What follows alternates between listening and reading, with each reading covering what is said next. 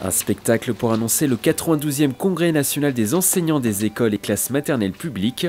Le rendez-vous sera organisé par l'association AGEM en juillet 2019 pour la cinquième fois dans le département des Yvelines. Objectif, développer des projets sur l'année pour les tout-petits. Dans un premier temps, ce sont les enseignants euh, qui réfléchissent en fait sur la thématique du congrès et cette euh, thématique est définie en axes de travail et après les enseignants de toute la France peuvent s'emparer d'une des thématiques et euh, travailler dans la classe avec les élèves. Cette année, l'événement proposera aux enfants de travailler sur le thème Osons les arts et semons des graines de culture, avec un seul but, développer l'éveil des enfants en maternelle, un projet soutenu par l'éducation nationale.